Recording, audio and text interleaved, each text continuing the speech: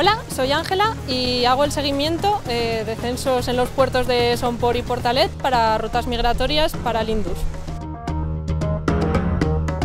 También realizamos programas de sensibilización para dar a conocer la importancia de los puertos de montaña de Sompor y de Portalet en las rutas migratorias.